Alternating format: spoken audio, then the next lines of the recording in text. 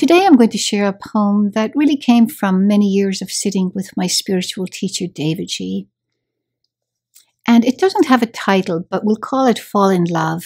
Very often a poet will have the title run into the first line. Fall, he says, in love, he says, with all of it. Keep tumbling down from the arrogant heights of ego. Melt into the womb of mother love. And if on the way you encounter old wounds, love those too. Embrace the phantoms of the past, he says. Lay down every last one of your defenses. You were never meant to hold on, never intended to suffer. Let the pain, he says, be a gateway. This mound of flesh you call your body was never yours.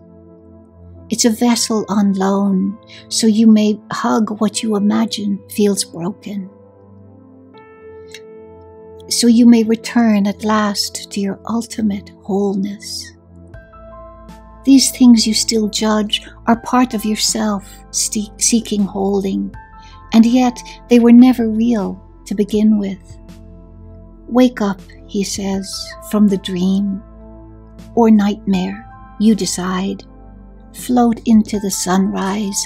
Can't you hear the birds, or is it God's singing?